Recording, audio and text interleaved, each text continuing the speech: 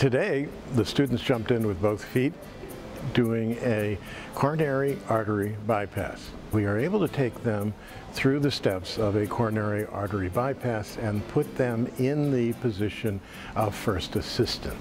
They have a chance to see what's involved in a big operation like this and the numbers of people who are involved in making it happen.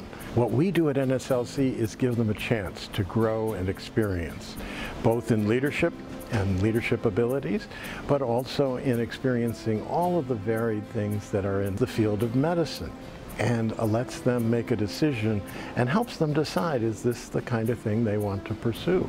To see the transformation over a few hours, what happens with students who don't know each other, who are a little bit timid, all of a sudden bonding, forming friendships, and learning together in an atmosphere that's safe and fun.